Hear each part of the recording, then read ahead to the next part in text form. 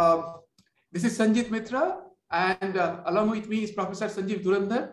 We both uh, work at uh, IUCAA, the Inter-University Center for Astronomy and Astrophysics in Pune. Uh, we just came up with a book on gravity, on general relativity and gravitational waves. This book uh, uh, is to is an introductory book on these subjects, and we'll tell you more about it. The the thing is that there are several books on these subjects uh, in the market. Uh, but then why did we write another book?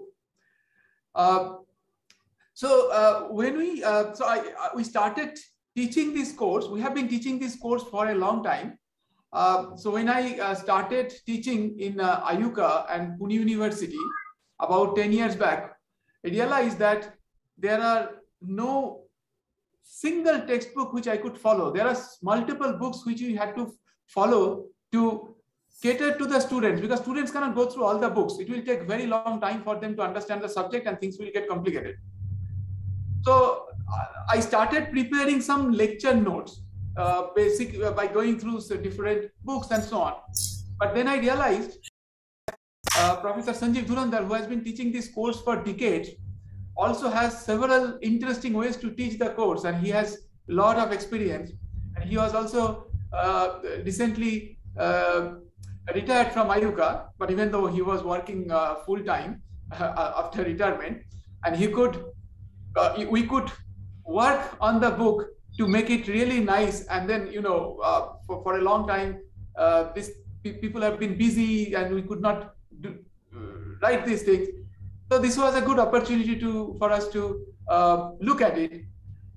And then um, eventually um, we started writing it, but then it all got slowed down because gravitational waves got detected. And but then uh, after a while, after several years, now we have managed to finish the book. And Sanjeev will tell you uh, more about his experience and the the the kind of uh, people he have taught and and so on. Okay.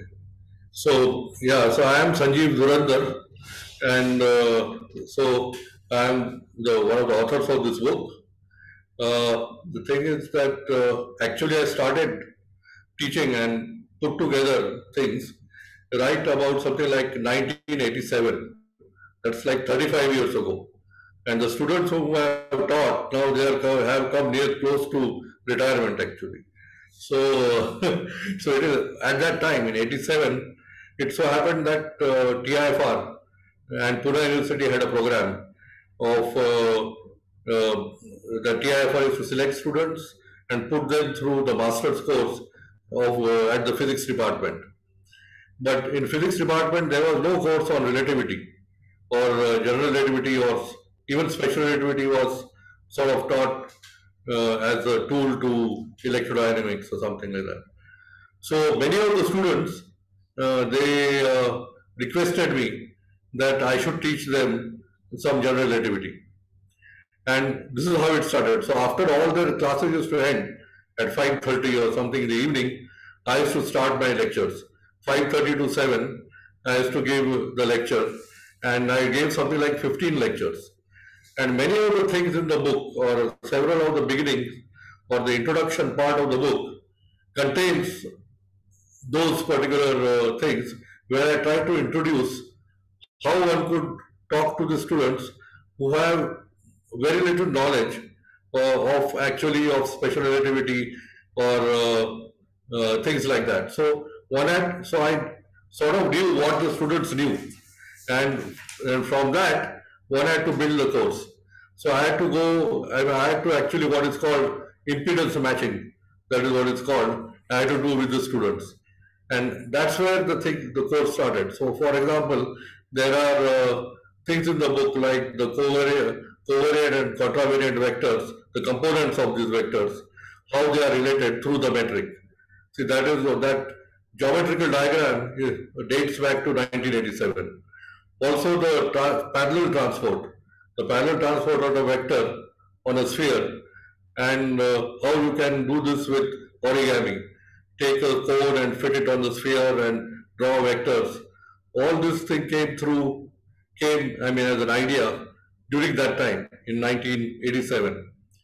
And uh, so, what I want to say is that some of these things date right back to uh, 35 years ago, and those are there in the book. So, yeah, I mean, the, the thing is that even though they are 35 years old, that does not mean there have been books in between which actually covered those ideas. Yeah. And that is where the gap was. And we thought that, you know, those are the ways, the, the subject has not changed, of course. Yeah. And students and still learn through the same kind of academic process. The, the process has changed, but the uh, amount of mathematics they know by the time they come to MSc and so on, that has not changed dramatically. That's right. And that is where this book can serve uh, its purpose. Uh, so, for example, students who come to uh, uh, uh take this general relativity course, say as a special paper in in their MSc physics course, we assume their knowledge, especially in the Indian context, and the book builds up from there. Mm. The book basically right. self-content. That is, they don't have to follow any other book uh, from where it starts. And so that makes life very easy. If they miss any class, for example, or so on, uh, and the instructor is following that book, then they can easily catch up from the book. So that was the purpose of the book. Yeah. So uh, one of the things which I want to say is about things like uh, introducing affine connection. So many, several of the books either uh, uh, you, I mean, uh, introduce it uh, without any background or anything like that, or they give a very uh, formal way of introducing this affine connection in a very general way. The, now the problem with going to that amount of generality is that sometimes you, lose, you lose, not sometimes, you lose insight into Riemannian parallel transport, and that is what is required for general relativity. That it is done through Cartesian systems and Cartesian systems are defined through the metric. And so that's how the affine connection gets connected to the metric and it becomes a metric affine connection. But all this is brought out in a very simple way with simple examples which are there, given there and in a way with very simple arguments. And so it makes it very natural that the, so the affine connection has been introduced in this book in a very natural way for Riemannian parallel transport. In fact, this is the way I learned also how to do this thing on my own, actually. Uh, so even though we, we emphasized on the basic, basics so much, like we clearly uh, sketched the fundamentals so that people can understand it uh, properly, especially the students or the newcomers in the field, we managed to keep the book pretty concise. It is basically a little more than 200 pages and it will be easy to cover uh, basically from cover to cover uh, in, a, in a course, even though the, the first parts would be more relevant for students studying general relativity, mm. while the second part on gravitational waves and data analysis will be more relevant for, uh, for researchers who are just entering the field and they, don't, they want to uh, get a uh, glimpse of the subject or an introduction to the subject from which they can learn, uh, uh, go further. And this is only the this is the only book in our knowledge which actually covers the mathematical fund, fundamentals of gravitational wave data analysis, which uh, Sanjeev Dhurandhar has pioneered over uh, three decades or so. Yes, so what I would like to say is that this is perhaps the first book, or at least at, uh, at this point of time, which, uh, which has data analysis also, gravitational wave data analysis in it. Uh, which which is there also added to the to the introduction to general relativity. And also there is uh, things like uh, the definition of a black hole as it, I have not seen this kind of uh, definition in uh, many books or maybe a single one book where uh, it is the the definition of a black hole or what is a black hole in fact is it's, it's in fact a compact null surface or a closed null surface. Such things uh, which was which were the things introduced by uh, C.V. Vishveshwara actually in his in his paper. This is in fact a very apt definition for a black hole. Right? It's a one-way membrane. Okay, So that is brought out mathematically and in a very uh, rigorous way or in a very uh, precise way by using null surfaces and so on. So this is there in our book, apart from the other things, like as I mentioned, data analysis and also uh, a very uh, natural way of introducing uh, parallel transport.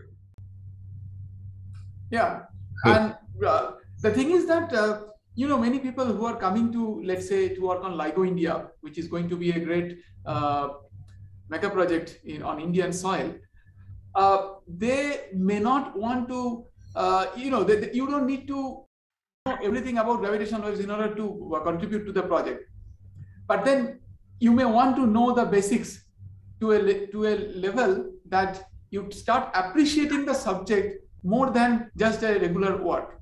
And there, all these intricacies, if people start appreciating, understanding, then it would make their uh, make them happier. That is our hope. And uh, we would uh, uh hopefully uh, get a lot of feedback. A lot of our colleagues have, uh, several of our colleagues have already told us about, appreciated the book and told us that they, they may be using it for their courses and that way we will probably get uh, more feedback and maybe we will uh, incorporate those uh, in a future edition.